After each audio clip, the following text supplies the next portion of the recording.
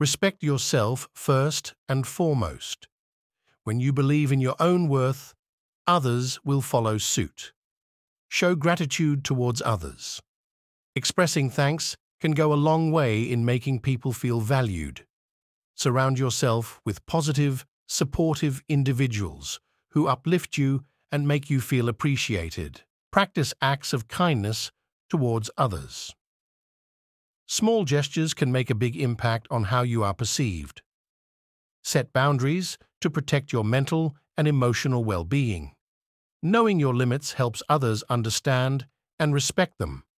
Remember that feeling appreciated starts from within.